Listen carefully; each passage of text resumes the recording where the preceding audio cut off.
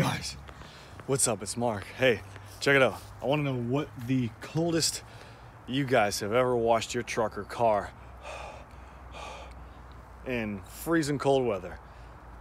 Comment below. I want to hear the coldest anybody's ever washed their vehicle. Now, don't bullshit me because I know below a certain degrees it's just not possible. Your hose freezes, your water freezes unless you have inside water running out that will probably freeze on contact. But it's uh, probably 39 degrees out here, and I'm washing the ready.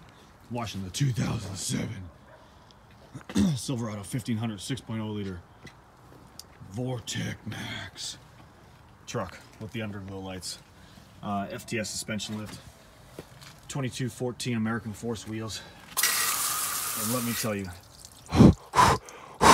pretty cold out. So comment below. I just want to know. I'm just curious.